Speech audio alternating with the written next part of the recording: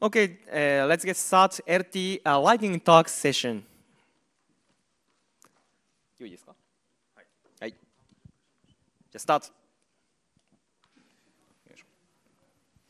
はい、えーと、じゃあ、BIMRC と私の、えー、信念ということで発表していきたいと思います。よろしくお願いします。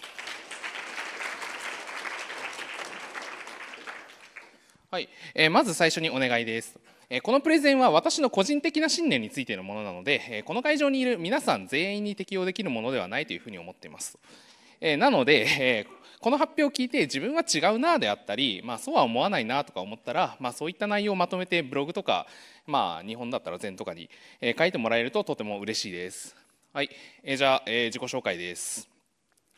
え画像が出ない。あ出た。はい、えー、おもちゃアイスですと、えー、普段は左の、えー、ハリセンボンのアイコンで、えー、活動してます。あありがとうございます、えーまあ、今年で、えー、社会人3年目になる、えー、エンジニアです。はい、えー、次に、えー、私と BIM についてですと。このスライドを書くにあたってドットファイルズの BIMRC のイニシャルコミットを探してみたんですけれども4年前の2020年の4月10日が初期のコミットでしたと。はい、なので、えーと、ここから私の、えー、ビームライフ、まあ、いわゆるビーム性が始まったと言えるでしょう。で余談ですけれども、えー、この時の BeamRC 中身を見てみたところ、えー、プラグイン管理に Beam プラグ使っていて保管は UCompleteMe えー、ジェダイ Beam を使っているような感じでした。はいえー、このイニシャルコミット2020年4月のイニシャルコミットから、まあ、大体4年の、えー、ビーム性の中で私のライフステージ変わっています。えー、具体的に言うと、えー、学生から、えー、社会人へと変化しています。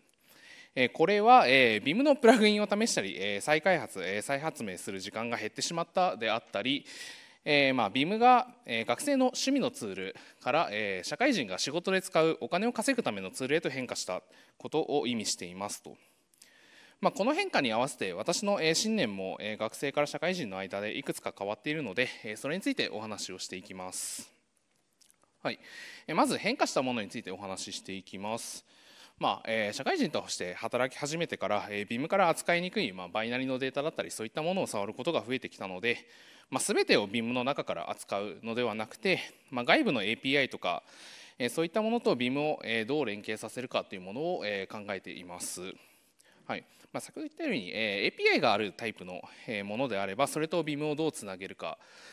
まあ、API がないものであれば、えー、BIM から扱い扱いやすいデータの形式にどうやって変換するかっていうのをメインで考えています。まあ、最近だと、えー、省吾さんが作った DDUBIM で、えー、レッドマインのチケットを管理するための、えー、ソースとかを作ったりしています。はいえー、次に、えーとえー、プラグインの探し方についてですね。えー、昔はなんかプラグインのソースコードを端から端まで読んで、まあ、それを持って理解したというふうにしていたんですけれども、えー、最近だと、まあえプラグインの中身のソースコードを読むのと同じぐらい他の人の BMRC の中でそのプラグインがどうやって使われているかっていうのを調べるようになっていますと。はい、余談ですけれども、えー、他の人の BIMRC を読むと,、えーと、例えばですけれども BIM と NBIM 両方で、えー、BIMRC を動かそうとしているみたいなその人の信念が見えることがあって、まあ、とても面白いですと。まこういった BIMRC を読んで信念を理解しようとする試みなんですが、まあ、ちょっと宣伝にはなるんですけれども、えー、と毎週土曜日の23時からやっている BIMRC 読書会というものがあります。えーとまあ、具体的に何をやってるかというと、まあ、ビマーが、まあ、読みたいと集まった BIMRC をみんなで読んでそれについてやいやいお話をする会ですと、えー、予定通りであれば、えー、今日もやるらしいので、まあ、会場にいる皆さんの中で興味がある方がいれば参加してみてください。はい、えー、話を戻しまして、えー、次に、えー、変わらなかった信念についてお話しします。え、まず、えー、ビームの挙動が私の思考を、えーとえー、遮ってはいけないというのを常に考えています。まあ、最近のプラグインだと、え、派手なエフェクトがついているものが、え、結構多いんですけれども、まあ、ちょっと私はそこの辺あんまり得意じゃなくて気が散らないように、まあ、る程度、えーま、エフェクトとかを切るようにしています。はい、次に、えーと、プラグインはできる限り、え、最新のものを使うようにしています。まあ、BIM を動かしている PC であったり、まあ、いろいろなブラウザであったり、え、そういったものは、まあえー、常日頃変わっているので、えーつえー、それらの変化に追従して初めて、えー、現状維持であるというふうに考えていますと。あとは、えー、現状、えー、ビルトインで設定されている、えー、オプションとかは、えー、できる限り自分の、えー、管理できる範囲にとどめるようにしていますと。はい、ここまで、えー、皆さんにお話ししてきましたが、えー、質問がありますと。はいえー、皆さんの BIMRC についての信念は何でしょうか、まあ、例えば、えー、Vim を、えー、Vim の中で全部のタスクをやったり、えーまあ、カスタマイズをして、最強のプラグイン、えー、ビームを作るであったりそういったいろんな信念があると思いますが、まあ、結局のところあ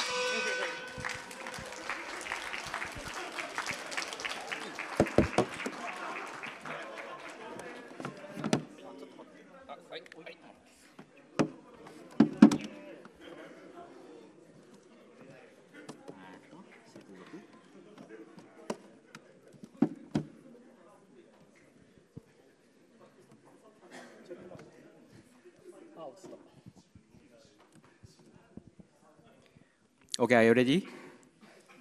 お願いします。Okay, let's start. あ、あ、あ、と、プラグインデペンデンシーマネジメント with Nix といったタイトルで発表させていただきます。クーオートです。よろしくお願いします。と普段ラムダのアイコンで BIMJP にいます。となんか T シャツにも伝えてたんですけど、なんか Nix のアイコン好きって言ったわけで遊ばれてニクースなんてものが生まれたりもしました。と普段は環境構築を趣味にしていて今回もその話をします。とところでと LSPK プラグイン NBeam3 シッターと XZFK プラグインとあと自作ですけどスケケルトン。これらの共通要素は何でしょう？と答えは外部依存があるです。これらの外部依存管理するにはシステムのパッケージマネージャーを使ったりバイナリやライブラリをアップデートの時にビルドしたりダウンロードいろいろダウンロードしたりでとても面倒くさいです。で人々はそういうのを嫌ってネイティブのプラグイン使いたがります。でもこれ結構もったいないと思います。そこで NIX NIX は全てを解決してくれます。NIX というのは Declarative Views and Deployment を掲げ全てを純粋関数に見立ててビルドするというユニークなビルドツールでアプローチもとてもユニークでと immutable st strictly sandbox ということで、すべての依存を自前で完結して、原理上、競合全く起こりません。これは素晴らしいことです。で、公式にはコマンド1つ叩いたり、で、インストールしたり、試したりとかできます。で、バイナリー問題はほとんど解決するんですが、これ、グローバルインストールと何が変わるの？ということで、ビムはあすいません。NIX は何でもできることを示すために一つ例を用意しました。と Vim のプラグインからの VimRC と Vim のラッパーを吐くというもので例えばこれ NIX の独自言語の式でこれをビルドすると Dinops.Vim とあとそのまま動く NeoVim が吐き出されます。であのシェルスクリプトのプレイスホルダーみたいなところがビルドするとこんな NIX ストアから始まる長い式パスに置き換えられます。これ、ストアパスって言って、この仕組みによって NIX は厳密にプラグインを管理してるんですが、もうこのパスの通りにデノとか配置されてちゃんと動いてるっていうのがチェックヘルス走らせると分かります。あと、これだけでも、これだけでは特に役に立たないんで、あとスケケルトン導入して、あとついでに簡単に置き換えられるということを示すために、ネオビムをビムに置き換えます。で、置き換え自体はすでに仕組みが整っているので2行書き換えるだけでちゃんと書き換わります。で、スキケルトンは残念だけど、だから NIX の公式パッケージにはないんで GitHub から持っていく必要はありますけど、これもフェッチってか、フェッチフラム GitHub って関数があるんで、楽ではないですけど、まあできます。ちょっと長いですけど、もうリビジョンだけじゃなくて、ハッシュまで指定してあるのが NIX の特徴で、あの厳密に再現するためにここまでやる必要があります。でこれを動かすとあとすいません。あと BIMRC にスケケートも使うように追記して SKK の辞書も NIX のパッケージにあるんでそれ使います。すると何もしなくてもこんな感じで日本語を打てるようになります。これ写真ですけど。とあとおまけなんですけど先ほどのフェッチめちゃくちゃ面倒くさかったと思うんですけど一応これなんとかする方法も NV フェッチャーとか提供されてます。あと日本語で申し訳ないんですけどこれらの記事ナツキームさんって方の禅の記事にめちゃくちゃ詳しく書いてあるんでよければ探してみてください。あと BIMJP は今 NIX のとても活発なコミュニティになってテックニックスってチャンネルが日々盛り上がってるんでよければ入ってみてください。あとこれおまけなんですけどたったこれだけ書くだけであの NIX NVM3 シッターの全部パーサー入りのパッケージが提供されているんでハイライトしっかりしてくれたりとかします。とご清聴ありがとうございました。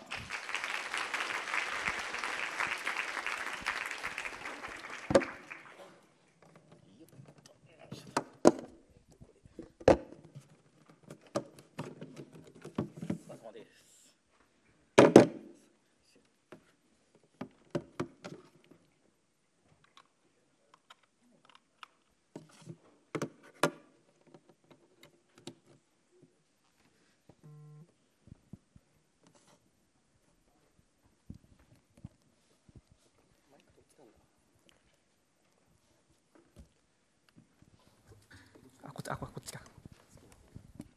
あ、あ、あ、入ってるか。はい、スタート。えー Develop iOS Apps with Neobim。Neobim で iOS アプリを開発するというタイトルで発表します。よろしくお願いします。えー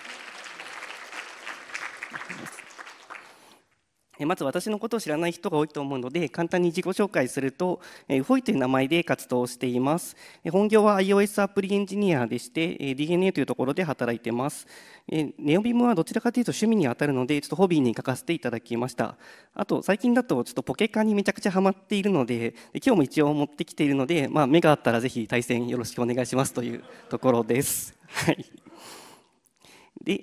えー、とまず、えー、ネオビームで皆さん iOS アプリ開発できると思いますか？多分普通は思わないと思います。はい、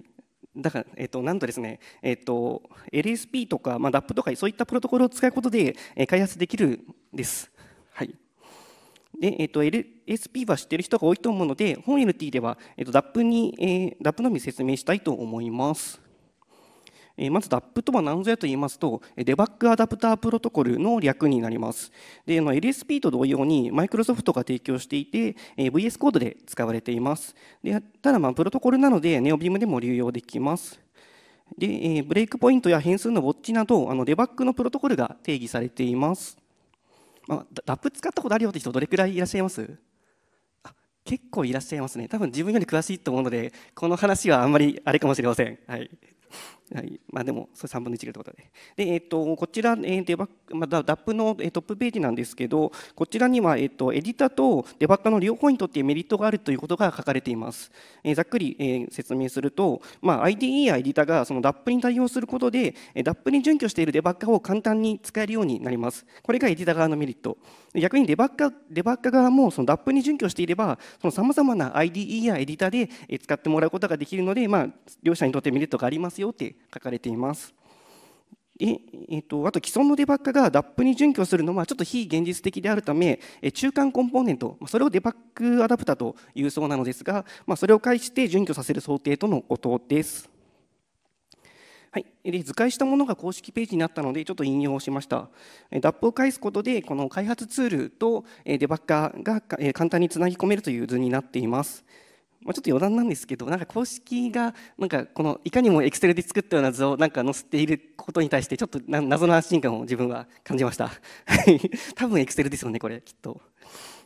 はいでえー、とこちらが DAP に準拠しているデバッグアダプターの一覧になります。えー、と iOS アプリ開発では LLDB というものが使われているので、えー LLDB デバッガーのアダプターを使えます。で多分ここにいる方、Go を使っている方が多いと思うので、Go だと Delv というものがあるので、えそれを使います。はい、でこちら、コーデ LLDB の GitHub ページで、えっとまあ、バイナリとして使うので、詳細は知らなくてもいいんですが、あの興味のある方は、リードミなどを見てみてください。で最後に使用スペシフィケーションです。えっとしっかりかつ分かりやすく、えー記載されていますので、こちらも興味のある方は見てみてください。まあこちらを見ると、まあ、どのように、まあ、ブレイクポイントを貼って止まるかとか、そういったものが、えーそその通信の仕方が分かるかなと思います。でえっと私が使っているプラグインですね、えっと DAP の設定をゼロから行うのは非常に難しいので、私はこれらのプラグインを使っています。Xcode Build NBIM、こちら iOS アプリ開発にまほぼ必須なプラグインになります。で下の NBIMDAP と NBIMDAPUI、こちら2つに関しては、えっと、NeoBeam で DAP を使うにはほぼ必須なので、あの Go とか他の言語を使っている方も必要かなと思います。で、えー、と基本的には Xcode ビルド NBIM のドキュメントを見ると NBIM ダップとかの設定も分かるのでこちらを見てみてください。で分からなかったら私に何でも聞いてください。これマジでちょっと日本でやってる人ほんと少ないんで多分自分に聞くのが早いかなと思います。で、えー、実際に NeoBIM で iOS アプリ開発しているところを見たいですよね皆さん。いやいやありがとうございます。はい、あのごめんなさい、ちょっと時間がなくて、すみません。あの この後私に話しかけてもらえれば自分のパソコンでちょっといくらでも見せられるので、はい、その時を楽しみにお待ちしてください。はいあと、まあ、話しかけづらい人のために、ちょっと別のカンファレンスで、同じテーマで、ちょっとライブコーディングを中心とした、えっと、LT を行ったので、ぜひ、えっと、YouTube を見てみてください。最後に軽く宣伝なんですが、来年の2月5日にあの DNA でテックコンというイベントをオンラインで行います。でただ、ちょっとアフターイベントはオフライン開催で、あの BIM だけのアフターイベントも企画しているので、ぜひ2月から3月を楽しみにお待ちください。以上です。ご清聴ありがとうございました。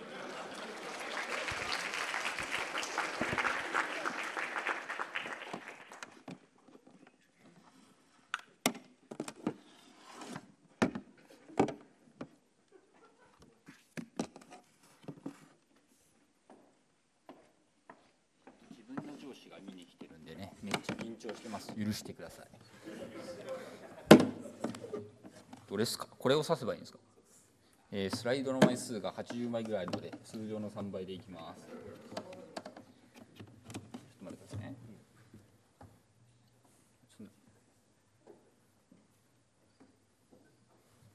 なんかすごいことになってるかな。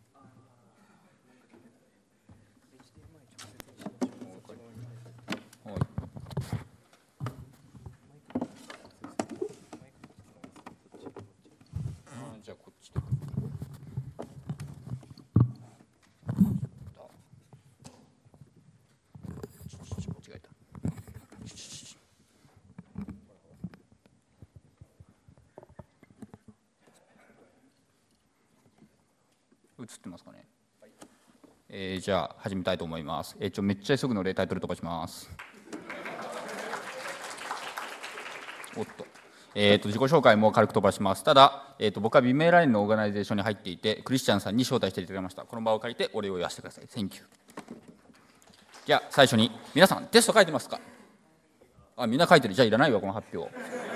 ていうのは嘘で、まあ、ここに来たんでやります。じゃあもしテストを書かないと、まあ、まずリグレッションに気づけないですよね。既存の機能に対して新しい変更が抑制の影響を及ぼします。で、プルリクをレビューするのが大変です。で、テストがないとコードレビューの動作確認が難しくなります。で、 Vim プラグインでもやることは一緒だよということで、まあ、このノウハウを話していきたいと思います。で最初に、まあ、簡単なテストの紹介を、まあ、BIMDev アイコンズっていうものの API を参考にちょっと紹介していきたいと思います。BIMDev アイコンズっていうのはこういう結構デカめなグローバル変数が関数が入っていて例えば引数何も渡さないとこういったアイコンが返ってきて引数に hoge.vim みたいなのを渡すとこの Vim のアイコンが返ってきて hoge.vim 渡すけど1を渡すとこのフォルダのアイコンが入ってきますっていう API になってます。でこれをあの簡単なテストを書きましょうということで、まあ、書くとこんな感じになります。でまあ知ってる人も多いかもしれませんがこの assert equal っていうのがミソになります。これ何ぞやっていうと、まあ、 Vim のヘルプを見るとこんなことが書いてあります。えっ、ー、と後で、まあ、スライド公開するんで飛ばします。で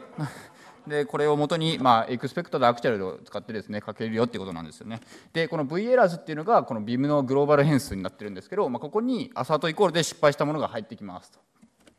でアサートイコールでさっきの3つのパターンを、まあ、テストしますと。でその結果を表示しますと。でこれであのこのメソッドを呼ぶと、まあ、こんな感じで成功した場合は上失敗した場合はこんな感じになります。思いませんか？見づらっと。まず失敗結果が分かりにくいなだったりなんかテストの書き方にルールやガイドラインがないからメンテコスト上がりそうだなとかあとはま複数のテストケース管理したいなとか、まあ、テスト環境を簡単に分けたいなってこれって結構自分がゴリゴリで設定したビームでテスト入るんで時々プラグインが干渉して変なことになってったりするので、まあ、テストを実行するときはま結構バリナなビームでやりたいよねっていうのもあると思うので、まあ、テスティングフレームワークを使いましょうと。じゃああのテスティングフレームワークの選定に入っていきます。でテスティングフレームワークを使うメリットはさっきの言ったことの裏返しです飛ばします。えでこれをもとにじゃあテスティングフレームは何がいいのかっていうと結構いろいろあってなんと Google さんも参入してきてるんですけど、えどれ選んだらええねんと分からんというふうになってしまうので表観点を用意しましたまずはシェルから実行できるかです、まあ、ワンライナーでやっぱり CI の導入も加味してですね、まあ、簡単に実行したいよねってあとは BIM 以外の環境が必要ないかですね、CI、ローカルともに、まあ、BIM 以外の環境が必要ですと、まあ、環境構築の難易度が跳ね上がりますので、できるだけやりたくないよと。あとはプラグインのテストに依存したプラグインを入れれるか。例えば、プラグイン A をテストするためにプラグイン B が必要なんだよっていう時に、テスティングフレームワーク経由でランタイムパスに追加できるとか、そういう管理ができると、まあ、メンテコストが下がるので、非常に良いと。じゃあそれを加味した上で表を作ってみました。全部丸を満たすのがビムテミスです。ビムテミス使いましょう。皆さん。じゃあ次に、えーと、そのビームテミスを使ったポイントについて話していきます。でまずこれは具体的に、まず一つはあの CI でもローカルでも通るようにしましょうと。で次にアサーションルーレットというものを防ぎましょうという2つの観点について話していきます。まずは上にビメアラインのテストについて話していきます。まあ、クリスチャンさんにレビューしていただいたのでね、ちょっと感慨深いかもしれないんですけど、まあ、まずこのテストがあるんですけど、なんと CI で実行すると通ります。ローカルで実行するとこけますと。え、なんで？でこれオプションを見るとローカ CI ではノータイム GI カラーが設定されています。でローカルではターム GI カラーが設定されます。だから落ちると。なんか CI とローカルであ違う。CI とローカルで BIM の環境が違うから落ちちゃうと。そういう時はこういう感じで、えー、とこのグレースケールじゃないところを注目してください。まずノーターム GUI カラーのテストを実行します。でもしもターム GUI カラーのオプションでビルドされていたらセットターム GUI カラーを設定した上でテストを実行するっていうふうにするとまあ、これがノーターム GUI 用のメソッド。でこれがターム GUI のメソッドと。でこれを実行するとどっちも通るようになりますと。いうふうにあの BIM の設定によって条件分岐が必要なケースがあります。で次に assertion roulette を防ぎましょうと。でこれは BIM デビコンズのテストを例に話していきます。で BIM デビコンズこういったテストケースがあってですね。でこれをまあ実行する Themis テストを実行すると、まあ、3ケースあって3つ通るとも通るよと。ああなるほどと。でもこれだるいわと。じゃあ1個にまとめた例とかなんならフォームで書けるわって言ってこうやって書きたくなると思うんですけどこれダメですと。えなんでダメなのっていうとじゃあこれわざと失敗させてみましょうっていうことであの引数をあえて極端に何も返さないというふうにしてみます。でこれでテミステストを実行すると、まあ、当然こけるわけなんですけどもあれと？あれと？なんか3ケースあったはずなのに1ケースしかないんですよね。えー、と失敗してますと。やばい時間がない。やばいやばいやばい。でこれやるとあのこのこういうふうにするとこうなるよと。やったででまあいろいろ飛ばすと。ありがとうございました。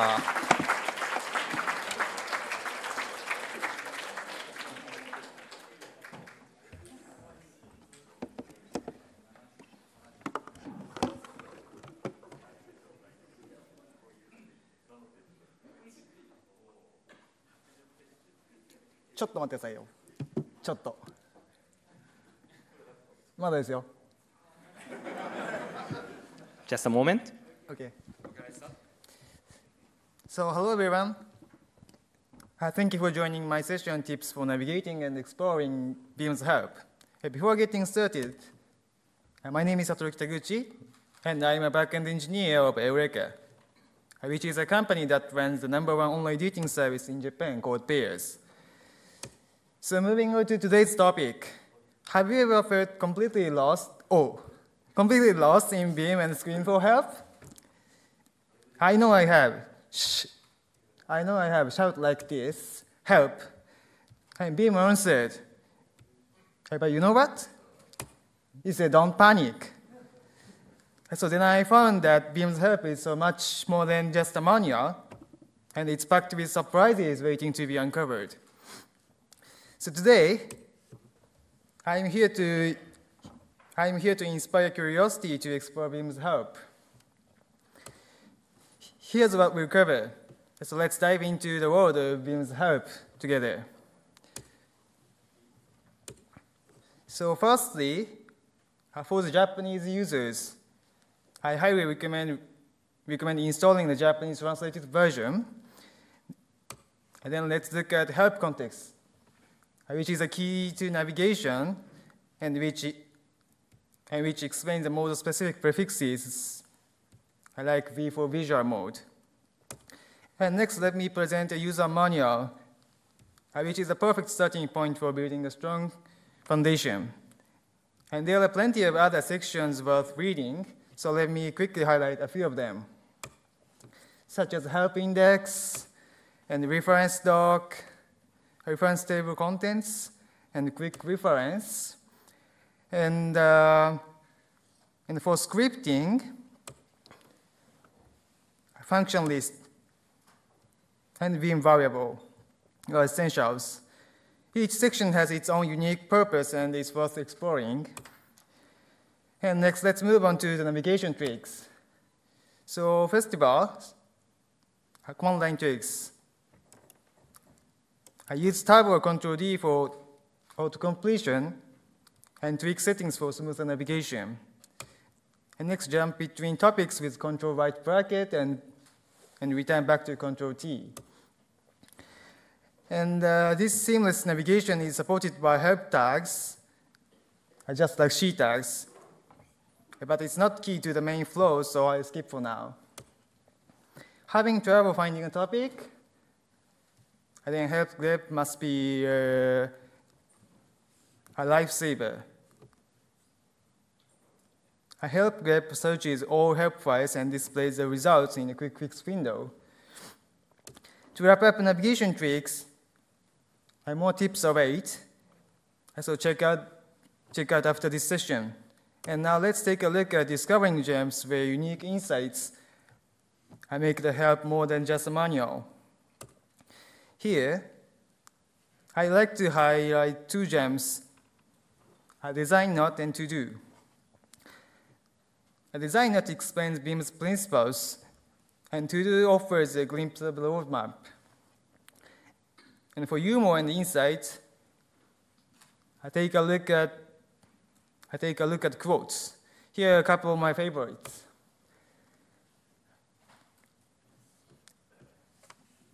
A previous girlfriend of mine switched to Emacs. I needless to say the relationship went nowhere. And another, you can't yet do this is using Vim. Feeling curious? So there's so much more to explore. In addition to that, there are also plenty of Easter eggs. So check them out after the conference. And before we wrap up, did you know you can contribute to Beam's Japanese Help? Uh, Beam's Help isn't just a tool. Uh, it's a community effort, and you can be part of it. So please check out the repository. And as a closing, just like William, I hope you're excited and ready to, to dive into Beam's help. Uh, last but not least, we are actively hiring engineers so please feel, feel free to reach out if you're interested. Thank you.